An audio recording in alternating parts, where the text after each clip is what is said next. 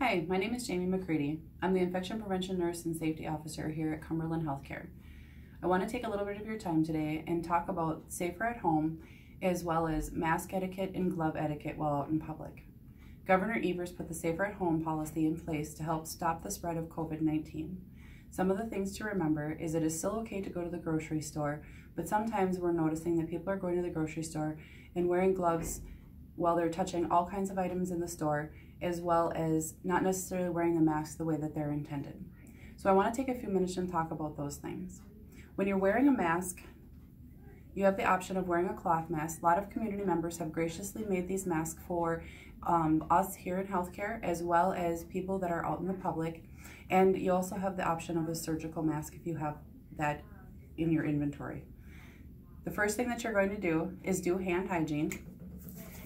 You're going to rub all of the surfaces of your hand, including between your fingers, as well as both of your thumbs. When you're handling a mask, you should handle the mask by the straps of the mask, regardless if they have the straps that tie behind your head or the ones that loop around your ears. I prefer the ones that loop around my ears. This one here is a cloth mask that one of our community members have made for us. I'm going to put this mask on over my face, my nose, and my mouth, and up and around my ears. I am going to adjust the mask so that it's covering both of those areas and I'm gonna do hand hygiene again, because if this is not the first time that I wore this mask today, the outside of the mask as well as the inside of the mask is contaminated with both exterior germs as well as my germs. When I adjust this mask, I'm gonna also do hand hygiene afterwards, as well as I'm gonna try to do the adjustment of my mask by the straps, as those are the cleanest parts of the mask. To remove the mask, I'm going to go up over my ears and pull the mask off.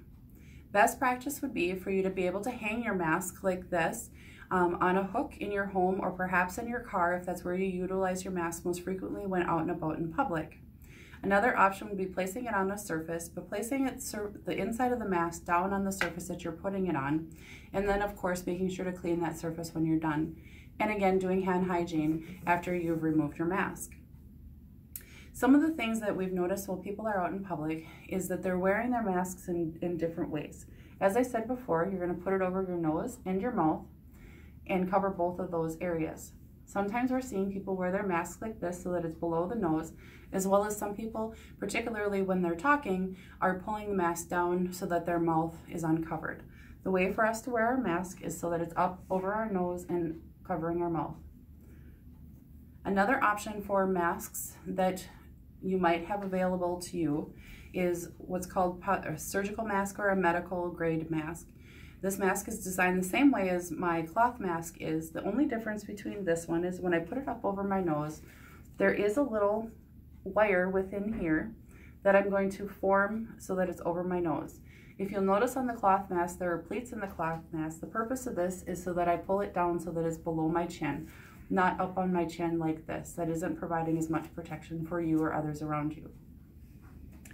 So let's take a minute and talk about why we would want to wear a mask while we're in public. The CDC did recommend that we wear masks while we're out in public. A couple of those reasons are it helps you if you're out in public to make sure that you are covering your cough if you have a cough or you're your sneeze. So making sure that you're following good respiratory hygiene practices.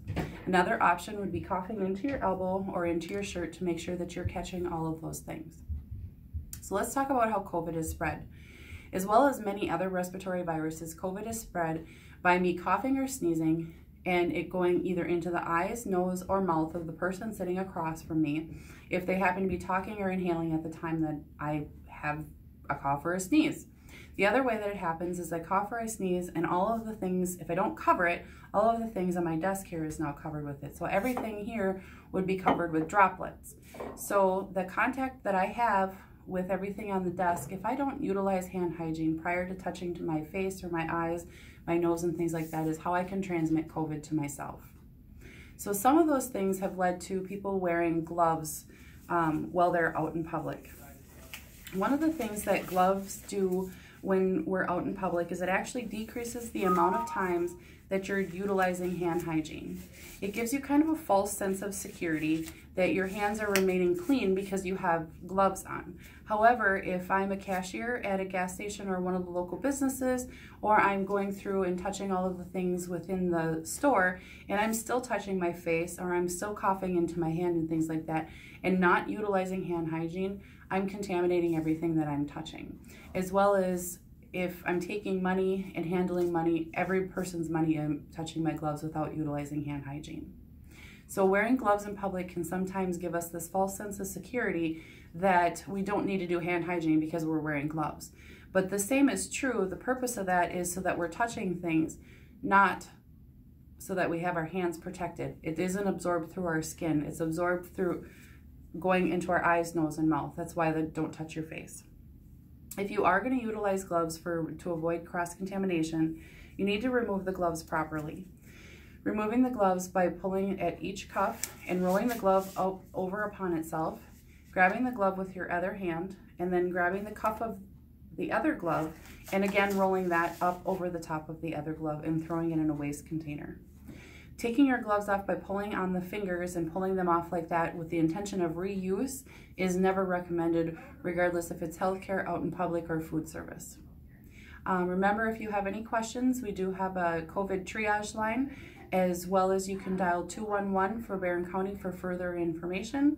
And thank you for listening today. Have a great day.